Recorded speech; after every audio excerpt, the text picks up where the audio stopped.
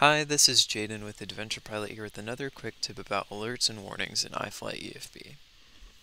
To access the alerts and warnings settings, we're first going to click Menu, Setup, and then Alerts and Warnings. Once we get into this menu, we'll see a few different alerts we can change. We're going to start off with airspace alerts. Once we click this, we can change a few different settings for the airspace alerts that we'll see.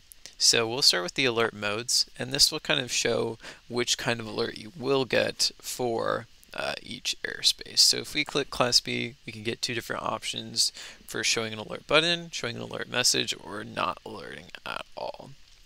And that's the same with every airspace and special use airspace here as well. So we'll click back, and now we get a few different options. So these are going to dictate when we'll get these alerts. So the altitude buffer we'll say if I'm within 1,000 feet, I will get set alert. And we can change that between a few different options here, which looks good to me, so I'll click back.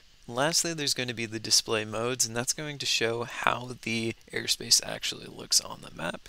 So if we look up here in the top left and right, we can see a few MOAs, and we can see these are just shaded. And of course, this is where we change that. So if I wanted it shaded and outlined, I can change that there, and we saw it changed, and it's a little outlined now as well. You can do this for every airspace, as well as set the opacity to make them thicker on the screen. Next we have terrain alerts. So if we click terrain alerts, we're going to get some different options. We can either enable or disable them, and we can also enable obstruction alerts. Map highlights is going to go into whether the map is going to flash red or white, depending on how high the terrain is compared to your altitude. And so you can change some settings here to either show the highlights on map, which you most likely want, and that'll actually display that. The mode, if it's flashing or solid, so normally it would be flashing, so it's more obvious to you. And then uh, what radius um, in distance from the plane would you want these uh, highlights to happen? And then you can also change the opacity for these as well. Next, we can reduce the alert when approaching airports, um, just so it makes it understand that you're landing and we don't need to show you that there's terrain underneath you. Lastly, there's the alert thresholds. And so this is just going to go into how strict the app kind of gives you these terrain alerts, whether you're closer or further from the ground. You can also change the obstruction icon size to whatever size you like, so I'll just leave it at medium. And then you can also filter obstructions between the different uh, heights they are, so I could filter it to show only ones that are 50 feet or more, etc., etc., with these different options here.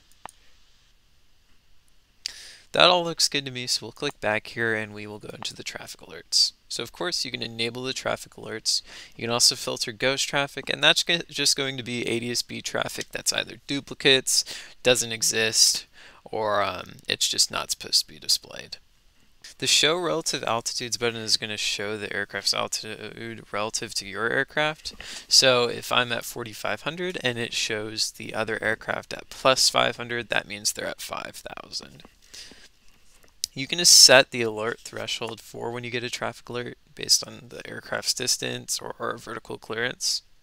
And if you click help me, that can give you some more information on like the visuals that you'll see. And so this might be something interesting to take a look at, but that's a bit more in depth, so I'll skip over that.